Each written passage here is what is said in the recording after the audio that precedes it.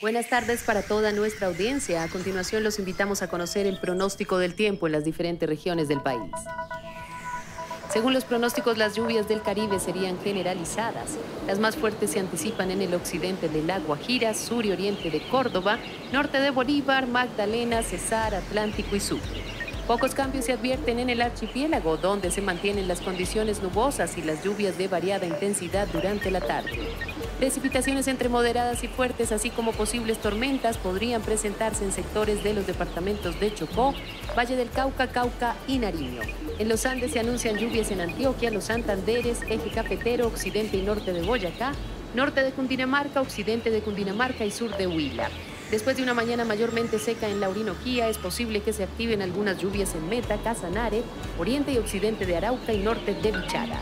Mientras que lluvias sectorizadas son posibles en Caquetá, Putumayo, occidente de Amazonas, Guaviare y Baupés, tiempo seco se calcula en el resto de la región amazónica. La capital del país estaría bajo la influencia del tiempo seco durante la tarde. En el occidente de la ciudad, sin embargo, podrían presentarse algunas precipitaciones. Veamos ahora las alertas que se encuentran activas. Alerta roja en Antioquia por creciente súbita en la quebrada honda de la vereda La Pedrona, ubicada entre Sabana Larga y Liborina.